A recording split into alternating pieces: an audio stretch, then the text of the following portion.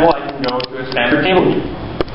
We'll make a switch. This is all in the virtual And now you can see that uh, there are actually a couple of fields in my And this is goal schema. Should be. There is the name of the goals themselves, and there's a little bit of descriptive text. Uh, this is a reflection view, so it's standardized. That's why these columns are not ordered yet in the right way. We'll fix that later. Okay, so that's one view. A table makes a lot of sense if you want to reason over a set of things, right? Uh, another thing that I can do is I can switch this view here to a tree view. So let's look at what that would look like. Uh, so I see my business goals again, and now what I can do is I can drill in to the sub goals. I can also see for happy customers, for example, I have some priorities.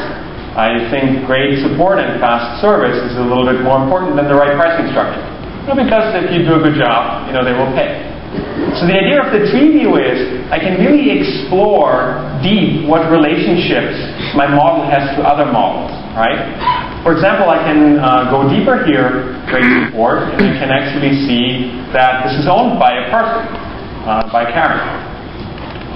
Okay, so three different views to deal with sets of data. Now I want to actually look at a, at a business goal itself. So let's take the happy customers here. And you can see when I hover over an icon, it always gets a little bit bigger um, because icons for us are a little bit like hyperlinks in the browser. I almost want to call them hyper icons. Whenever you see those guys, you know you have a handle to a model entity and you can interact with that. So I can take it, for example, and drag it out onto the workspace. And now what I'm doing is I'm opening another view, which is a property form of this entity. Okay? And you can see that I'm showing my three goals right now just as a count of, of those three guys, right? And you've seen the table already.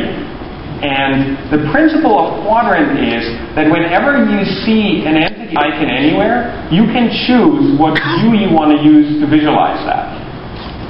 If I had fully customized this tool, you would have not seen it like